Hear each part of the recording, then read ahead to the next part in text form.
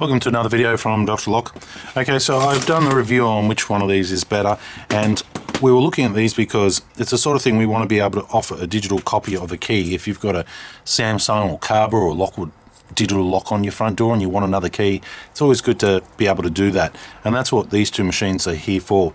Now, with this little uh, tiny Chameleon uh, Mini sorry, Chameleon Tiny. This was bought in the hope that we could uh, set it up with multiple tags that can be programmed through it. And it did seem to do some sort of success, and um, but we never actually got it to work. We've tried it multiple different ways, and it just does not seem to, you know, want to be working. I've read the instruction, or I've looked at a couple of online other videos, and basically you're meant to turn it on, put the card on top, and then hold down the B button, and that's meant to do something. But to date, I haven't been able to get it working.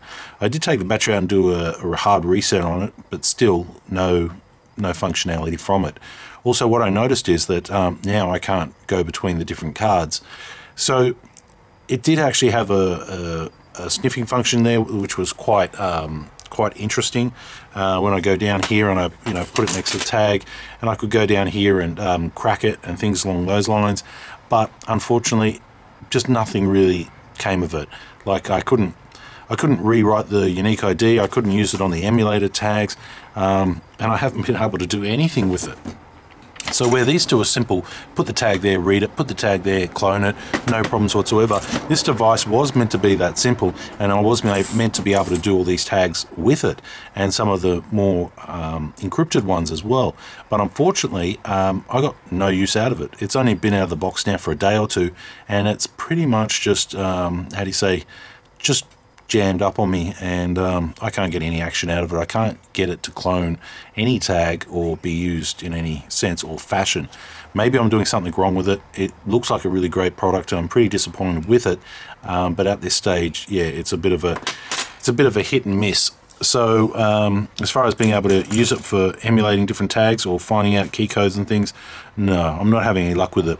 It probably probably wasn't the best investment for what we use tags for and the way we clone tags. Would have been better off just buying a couple more of these ones. These ones are really good value at um, coming in 40, 50 bucks. These ones weren't such great value and they take a long time to boot up. So I'm more leaning out of all of these uh, towards this one. There was one more, the Proxmark, and um, that's this one here, as you can see on the box. Look, don't get me wrong, this thing is meant to have all the functions, but you're basically running almost like DOS commands on your laptop to get it to work.